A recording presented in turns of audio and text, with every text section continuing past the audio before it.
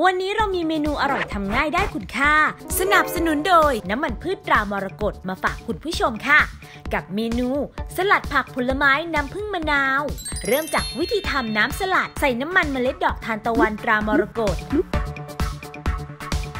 ตามด้วยน้ำแอปเปิ้ลน้ำส้มเข้มข้น น้ำผึ้งน้ำมะนาว เกลือป่น พริกไทยดำและงาดำลงในขวดสำหรับทำน้ำสลัด ปิดฝาให้แน่นเขย่าให้ส่วนผสมเข้ากันเตรียมไว้ค่ะ จากนั้นจัดสลัดผักและผลไม้ใส่ภาชนะสำหรับเสิร์ฟ ราดด้วยน้ำสลัด พร้อมรับประทานค่ะ ครั้งหน้าน้ำมันพืชรามรกตจะมีเมนูใดมาฝากคุณผู้ชม ก็ต้องรอติดตามกันนะคะสำหรับวันนี้ สวัสดีค่ะ